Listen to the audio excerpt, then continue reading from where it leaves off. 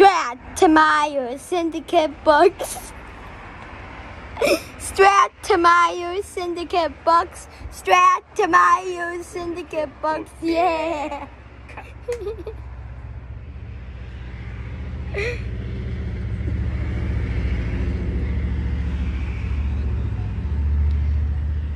Stratemeyer Syndicate book. Strat Myers Syndicate book. Strat Myers I'm laughing. Uh, now we're going to stop. Yeah. Stratemeyer Syndicate. Edward Stratemeyer was an author of children's books and was one of the first children's book authors. And he founded Stratemeyer Syndicate. So that's why my dad made this song. I'm going to do it one more time for you. Strat Meyer Syndicate book. Strat Meyer Syndicate book. Yeah! Cut!